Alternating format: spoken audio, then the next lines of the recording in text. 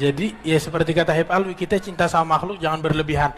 Karena walaupun kita udah dapat seorang makhluk yang kita pengen pun, ya keadaan kita gitu-gitu saja.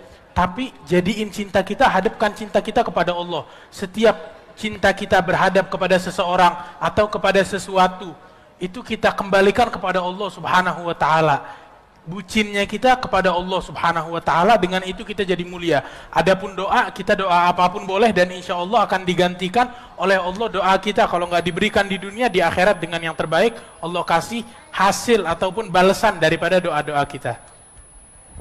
Masya Allah. Jadi tadi dan lengkap ya poinnya ya. Jadi bahwasannya berdoanya itu bukan untuk meminta gitu, tapi kita berdoa untuk diri sendiri dulu ya, diperbaiki dulu. Nanti insya Ya. Allah pasti akan ngikut ya jodohnya Betul, ya. Masya akan Allah. dipantaskan. Kita memantaskan Dipantaskan, diri, maka betul nanti akan sekali. diberikan kepantasannya, Masya Dan Allah. jangan sampai melebihi cintanya kita kepada makhluk ya, Masya karena Allah, Masya Allah. memang sejatinya cinta itu sucinya kepada Allah dan Rasulullah ya. Masya Allah.